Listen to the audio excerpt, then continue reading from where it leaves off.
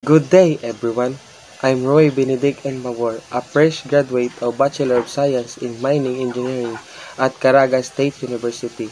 Today, I am going to walk you throughout my qualification and experiences. I am a dynamic and highly motivated mining engineer with a strong academic foundation and hands-on experience in the field.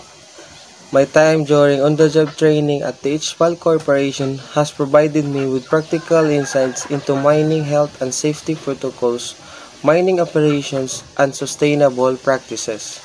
My skills are underground and surface mining operation, safety training, equipment and operation, geological exploration, mine planning and design, environmental consideration, maintenance and repair, computer modeling and simulation, safety compliance, interdisciplinary collaboration, and professional networking.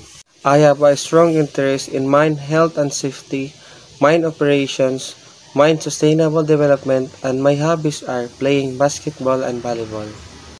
So, thank you for taking time to learn with my background and experiences. I am eager to contribute my skills and knowledge to a dynamic mining engineering team. If you have any questions or would like to connect, please feel free to reach out to me. I look forward to exploring potential opportunities together.